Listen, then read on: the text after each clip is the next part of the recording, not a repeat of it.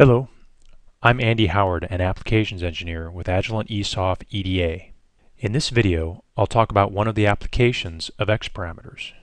Let's assume someone has measured the X parameters of an amplifier or device and has supplied them to you. You can use ADS as a quote-unquote electronic data sheet to see the performance of the amplifier and to see how it varies with the load, for example, or with other parameters that might have been used during the X parameter generation. This load mismatch instrument sweeps the magnitude and phase of the load and allows us to see the variation in performance as a function of these two parameters. A simulation runs in seconds.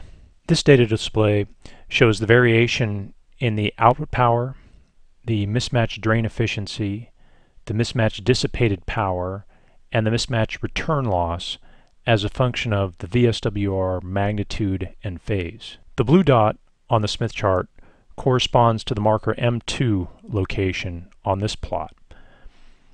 As I move this marker, you'll see the blue dot update and there's a big change in the output power as expected. The red dot on the Smith chart corresponds to the marker M3 location and here it's positioned for the maximum drain efficiency.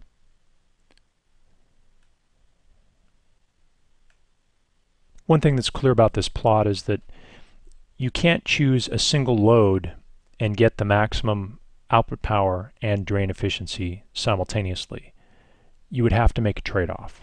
Another thing these plots indicate is that if you're going to be using this amplifier in some system where you don't have good control over the magnitude and or angle of the load, there's going to be substantial variation in the performance of the amplifier, both in output power and drain efficiency, as well as mismatch return loss. The X parameters for this amplifier were generated under three different bias points, nine different input frequencies, as well as a power sweep.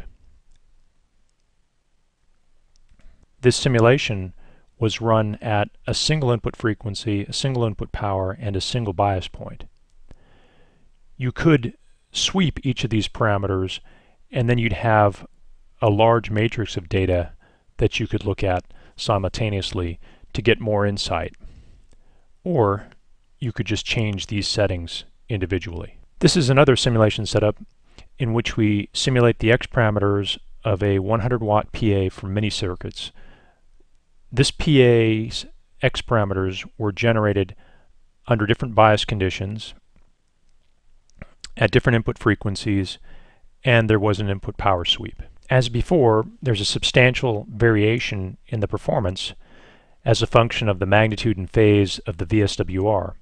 However, in this case, the optimal output power and mismatched drain efficiency occur at approximately the same load. In the previous simulations, we simulated the amplifiers at a single input power level. So we don't know anything about how far into compression the amplifiers are being driven. This simulation setup carries out both a load pull and for each load a power sweep so we can see gain compression information. This data display shows contours at a particular input power level specified by marker M2 and at a particular gain compression level specified by marker gcomp. The x-axis is the real part of the load impedance, and the y-axis is the imaginary part of the load impedance. We can quickly change the amount of gain compression that we want to specify for these contours just by moving the gcomp marker.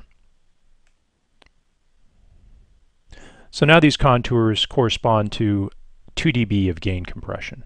The lower left plot shows all of the gain versus output power curves, one for each load reflection coefficient. The red trace corresponds to the marker M1 location, and here it's positioned at the maximum power level at the 2 dB gain compression level. If we move marker M1 over to the maximum efficiency point, then we see the red trace update as expected. I wanted to point out that although what I'm showing here on these plots is two different performances from the same amplifier, there's nothing preventing you from comparing, for example, the power added efficiency from two different amplifiers at the same level of gain compression, or the power delivered from two different amplifiers at the same level of gain compression. This would be useful when you're trying to choose which of two different amplifiers would be best to use.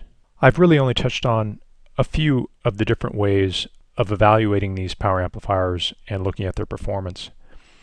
Certainly what you want to do next would be to say design an impedance matching network between the output of one of these amplifiers and for example an antenna in which case you might want to optimize the power transfer and or the total radiated power. The advantage of using X parameters is that they accurately capture the behavior of the amplifier as a function of the input signal level, as a function of the loads at the fundamental and harmonic frequencies. And you didn't have to do any extra work after measuring the amplifier. Thank you for watching this video. You may request your free ADS trial license by visiting our website. Supported customers may download this ADS 2011 example from our Knowledge Center.